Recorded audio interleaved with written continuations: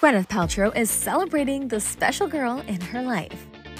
On May 14th, the Oscar winner celebrated her daughter Apple Martin's 20th birthday by sharing some sweet throwback pics on Instagram.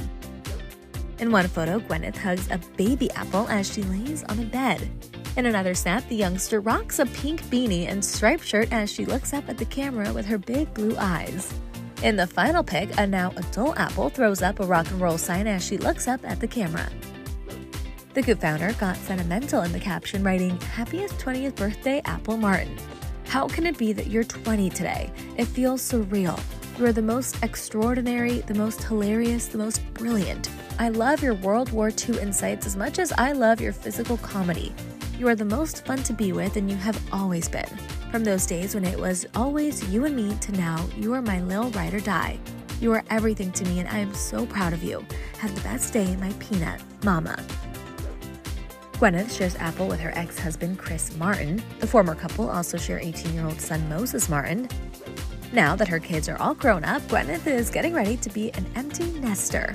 She told Access Hollywood's Kit Hoover all about that upcoming chapter in her life when she chatted with her in March. I think it's going to be hard for me. Um, I, yeah, it's going to be hard. I'm like obsessed with my all my kids stepkids biological kids. I love everybody in the house. I love the laughter. I love the friends. And you know i love the mess and the snacks. And i just i think it's going to feel uh i guess i worry it's going to feel very quiet and lonely. But i also feel very blessed that i'm in a great relationship and i love my husband and i uh, maybe I'll get to say yes to more things, you know, more girls' weekends or more, you know, n- I don't like to leave home because I want to be with them and it's so finite right now. So maybe it's going to be, I'm just going to try to focus on my friend um, Jennifer Freed said,